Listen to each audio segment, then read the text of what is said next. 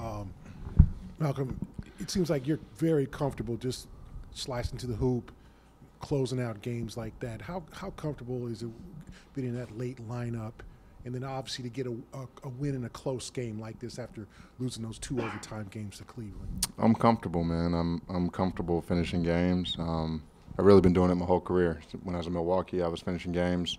When I was in Indiana, the ball was in my hands and I was finishing games. Um, but now it's really the big stage, and uh, I'm playing with great players that, that definitely help me close the game out. My job when I'm on the floor at the end of games is to keep us organized and to get the ball into JT and JB's hands, um, and you know help them create advantages to close the game out for us.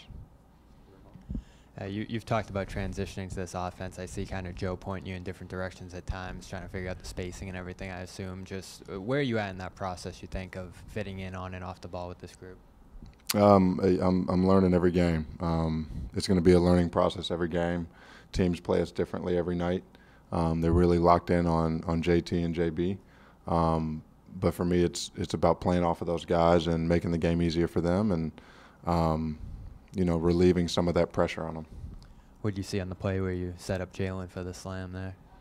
Um, I was actually stuck. It looked like a great assist. I was stuck. Um, he made a great cut to the basket and did what he does. You talked um, after that last Bulls game about bringing the bench guys together and kind of having a message for them. What what was the general message you kind of gave them then, and what did you think about the bench group as a whole in this game against the Bulls? Yeah, I mean, I, I've been telling them we got to be the best second team in the in the league. We got to embrace that. We are the second team. We're going to be the best in the league, um, and we're going to take full ownership of that. I thought it was unacceptable how we came out when we were in Chicago. The first team came out and um, played great, played a great, you know, first seven eight minutes, and we came out and, and really laid an egg. So I did not want to repeat that, especially against the Chicago team. This is a really good team um, that we're going to have to play probably, you know, most most definitely in the playoffs as well. Um, so I want us to be prepared and, and learn how to beat this team and beat good teams down the stretch, um, especially coming in and just being ready and, and adding on to what the first team's doing.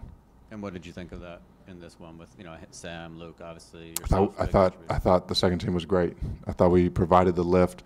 Thought we came in and we were down a few points. We got us back in the game, um, maybe a you know couple point lead, uh, and I thought we kept the the energy and momentum and the pace all night.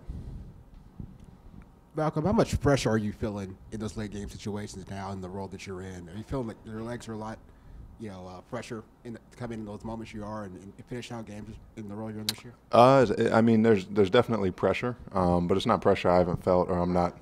Huh? Oh, pressure. Oh, I feel I feel incredibly fresh because I'm not having to do a lot.